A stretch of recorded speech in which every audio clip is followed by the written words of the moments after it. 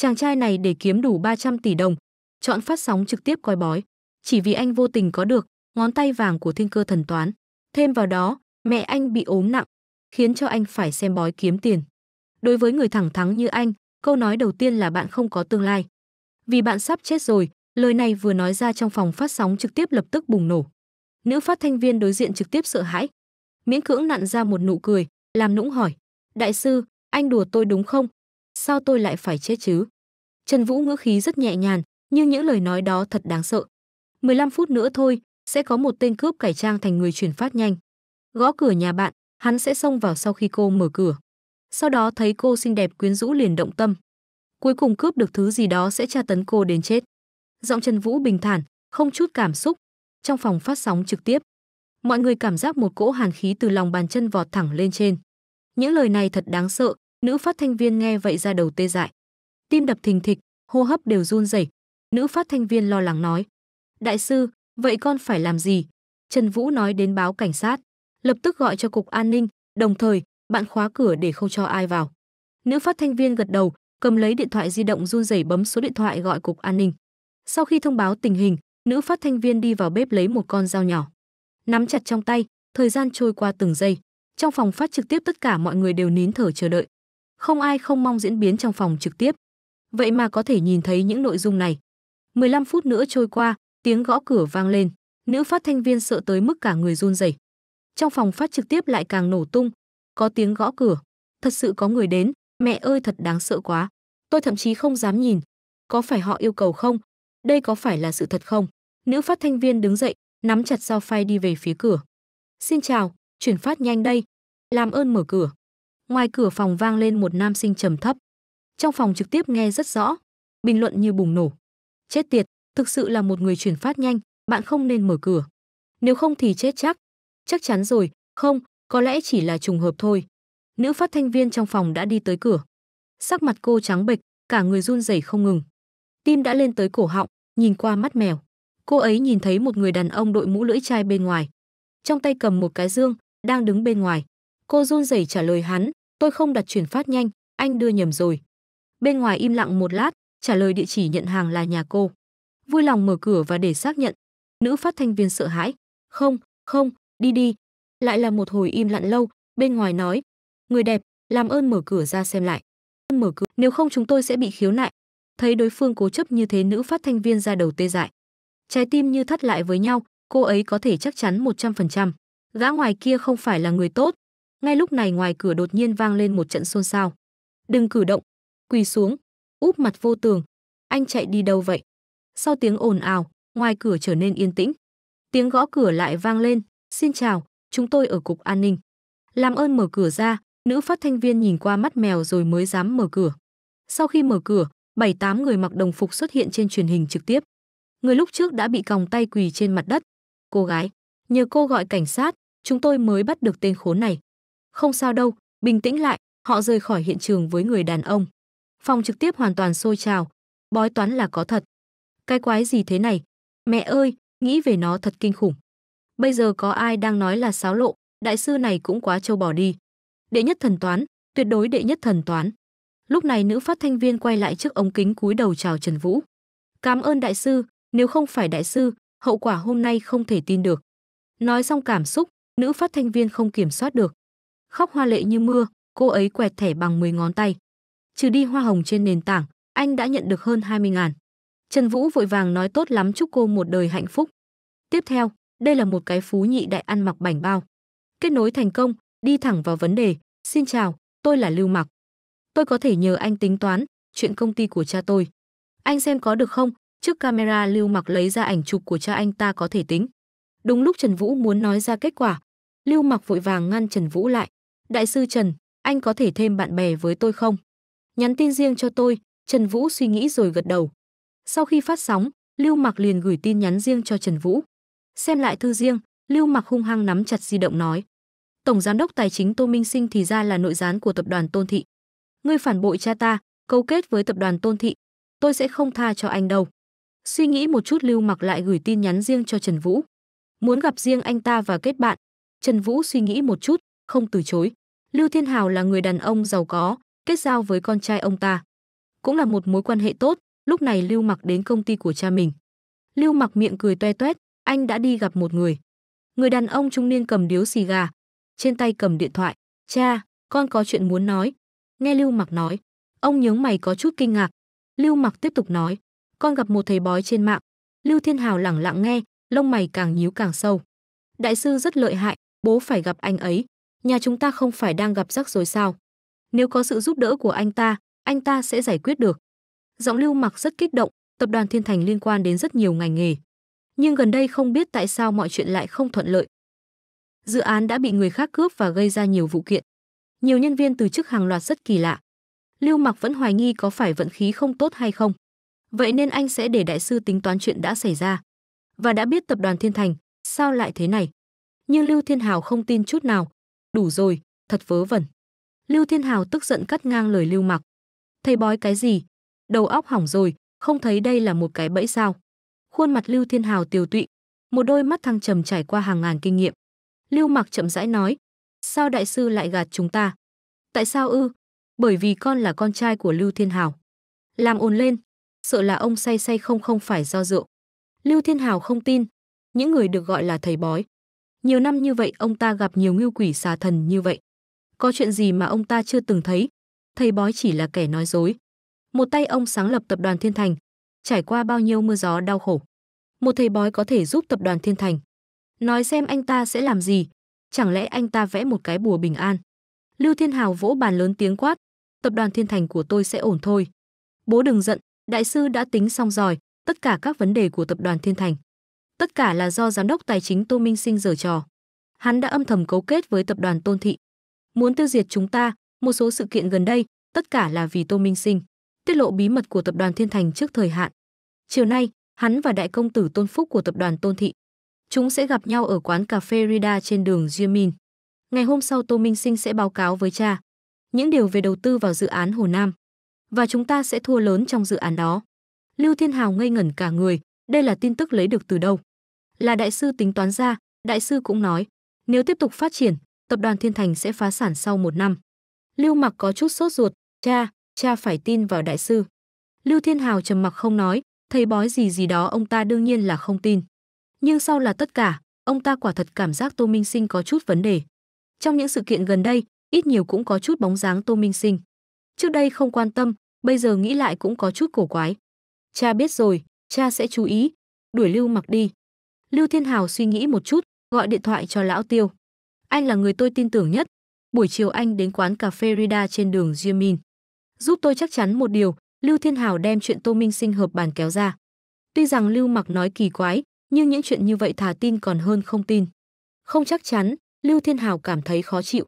Hơn 3 giờ chiều, Lưu Thiên Hào ở trong văn phòng, bước tới bước lui, bồn chồn, ngay lúc này, Tiêu Vân gọi điện thoại tới. Lưu Đồng đã xác định Tô Minh Sinh và Tôn Phúc Thụy gặp nhau. Hắn đã phản bội cả tập đoàn. Nghe xong, Lưu Thiên Hào tựa như ngũ lôi quán đỉnh đứng yên tại chỗ. Không lâu sau lấy lại tinh thần, hóa ra mọi chuyện gần đây đều do gã đó gây ra. Xem ra thầy bói kia không phải người bình thường. Suy nghĩ một chút ông ta gọi điện thoại cho Lưu Mặc. Con trai, cha muốn cảm ơn người bạn của con. Con có thể sắp xếp được không? Cha, cuối cùng cha cũng biết đại sư giỏi thế nào rồi. Không vấn đề gì, ngày mai con sẽ gặp anh ấy. Ngày hôm sau Trần Vũ ở trong phòng trọ. Một chiếc Rolls Royce chậm rãi chạy tới. Tượng nữ thần ở phía trước xe, bằng vàng lấp lánh trong ánh chiều tà của mặt trời lặn. Tỏa sáng vô cùng, tất cả cư dân trong tiểu khu đều dừng bước. Có vẻ như khu này không phải là khu cao cấp. Bình thường, Audi BMW kép là một chiếc xe sang trọng. Rolls Royce loại xe này, cách ly với thế giới của họ. Vạn vạn lần không nghĩ tới hôm nay lại xuất hiện ở chỗ này. Mấy người phụ nữ nói chuyện phiếm lập tức chừng to mắt yêu. Ai là ông lớn ở đây vậy? Trong ánh mắt kinh ngạc của mọi người, ba chiếc xe càng ngày càng gần. Cuối cùng dừng lại trước mặt vài người. Cửa mở. Lưu Thiên Hào xuống xe, Lưu Mặc theo sát bên cạnh. Tất cả ánh mắt trong tiểu khu đều hội tụ lại đây, đầy tò mò. Ngay lúc này, Lưu Thiên Hào quan sát hoàn cảnh chung cư có chút ngoài ý muốn. Đường đường là đại sư vậy mà lại ở cái nơi rách nát này. Đúng rồi, đại sư bảo con đến thì gọi cho ông ấy. Lấy điện thoại ra và gọi vào số của Trần Vũ. Một người phụ nữ ngơ ngác đứng tại chỗ, mắt trợn tròn. Đại sư, đại sư nào? Chúng ta đã sống ở đây hàng thập kỷ rồi. Chưa từng nghe qua đại sư nào. Từ trong nhà truyền đến tiếng bước xuống cầu thang. Một đạo thân ảnh từ trong bóng tối đi ra, xuất hiện trong ánh chiều tà. Lưu Mặc ánh mắt sáng ngời, nhìn thấy ánh mắt của Trần Vũ. Hắn liền xác định người trước mắt này chính là đại sư. Lạnh nhạt siêu thoát không giống Hồng Trần trung nhân. Chỉ trong mắt đại sư dường như có bầu trời bao la. "Chào đại sư." Trần Vũ mỉm cười gật đầu, coi như đã chào hỏi. Một số phụ nữ há hốc mồm, mấy cô gái bên cạnh há to miệng, hoàn toàn mơ hồ, đây không phải là người thuê phòng 403 sao? Hắn không phải là thanh niên thất nghiệp sao? Sao lại thành đại sư? Và Rolls Royce đến đón anh ta, cái đó, các người có nhầm không? Anh ta là người thuê nhà. Một người phụ nữ nhắc nhở. Lưu Thiên Hào không thèm để ý trực tiếp tiến lên. Nắm lấy tay Trần Vũ, vẻ mặt tươi cười. Trần Đại Sư. Tại hạ Lưu Thiên Hào, rất hân hạnh. Tôi đã sắp xếp tiệc tối ở Tứ Hải Lâu. Mời Trần Đại Sư lên xe. Được rồi, cảm ơn. Trần Vũ thần sắc bình thản ngồi lên Rolls Royce nghênh ngang rời đi. Khu phố bình dị ngày xưa bây giờ nó giống như chảo dầu sôi. Chúa ơi, cái quái gì thế này? Vậy mà lại kinh động Rolls Royce tới đón hắn. Không ngờ trong khu chúng ta còn có người như vậy. Trên xe Trần Vũ ngồi ở ghế sau nhắm mắt dưỡng thần. Lưu Mặc ngồi ở ghế lái phụ, nhìn Trần Vũ qua gương chiếu hậu. Trong mắt lộ ra ánh mắt sùng bái Lưu Thiên Hào nhìn Trần Vũ, trong mắt lộ ra vẻ tò mò. Đây là thầy bói, anh ta thực sự có bản lĩnh lớn như vậy. Đảo mắt, Lưu Thiên Hào cười và nói Trần Đại Sư, tôi nghe nói anh rất giỏi đoán mệnh. Tôi vô cùng biết ơn vì đã giải quyết được nguy cơ của tập đoàn Thiên Thành. Không biết Đại Sư tính thế nào, tôi có thể xem lại được không? Tiếng nói vừa dứt, Lưu Thiên Hào chuyển ánh mắt, đột nhiên trở nên sắc bén hơn rất nhiều, khi chất trầm mặc mà núi biển chìm nổi nhiều năm qua mang lại. Giờ phút này tất cả hiện ra, ông ta muốn thấy Trần Vũ thực sự giỏi, hay những kẻ lừa đảo bình thường. Trần Vũ đối diện không chút né tránh, vẻ mặt cũng không thay đổi, Suy nghĩ một chút ta chậm rãi mở miệng. Thầy bói cần tiền, Lưu Thiên Hào ngây ngẩn cả người. Khoảnh khắc tiếp theo, hắn vỗ đùi cười ha ha. Trần Đại Sư yên tâm, chỉ cần anh tính toán chính xác. Tôi dâng một triệu, Trần Vũ nhìn vào mắt Lưu Thiên Hào. Đồng tử chợt lóe lên, Lưu Thiên Hào không khỏi run lên. Cảm thấy dưới cái nhìn của Trần Vũ, giống như cởi hết quần áo vậy. Bị lộ hoàn toàn, chàng trai này không đơn giản. Lưu Thiên Hào âm thầm kinh hãi không thôi. Nhiều thập kỷ, biển núi có nhiều người, nhưng không có ai như thế này. Cho ông ta một cảm giác đặc biệt, lạnh nhạt trong suốt, thậm chí có chút mùi vị không ở nhân gian. Không ngờ, Trần Vũ rời mắt đi, đại sự coi như xong. Lưu Thiên Hào vội vàng hỏi, rất không tốt, Trần Vũ mở miệng nói. Lưu Thiên Hào sừng sốt, đại sư, điều này có nghĩa là gì? Trần Vũ cười nói, con đường phía trước, nhớ dừng lại. Tại sao đường dừng lại, không đèn giao thông, không người đi bộ? Tài xế ngạc nhiên, nhưng vẫn là nhìn thoáng qua làm theo. Lưu Thiên Hào vẻ mặt hoang mang không biết Trần Vũ có ý gì. Xe đến giao lộ thì dừng lại, ngay giây tiếp theo, một người đàn ông trẻ tuổi đột nhiên lao ra khỏi đường và băng qua đường. Tốc độ nhanh khiến nhiều người chỉ có thể nhìn thấy tàn ảnh. Lưu Thiên Hào bị dọa nhảy dựng, tóc gáy dựng ngược. Người này xuất hiện quá đột ngột, nếu không dừng lại, vậy dựa theo tốc độ vừa rồi người này đã bị đánh bay rồi. Sở dĩ Trần Vũ mở miệng nhắc nhở, thì ra là vì chuyện này. Anh ta đã ở đây từ lâu rồi, đây là thủ đoạn thần tiên gì? Không, là tiên tri. Giờ khắc này trong lòng Lưu Thiên Hào nhấc lên sóng lớn ngập trời.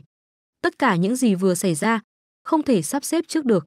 Điều duy nhất có thể xảy ra là Trần Vũ thực sự biết bói toán. Nhận thức của Lưu Thiên Hào hoàn toàn bị đảo lộn.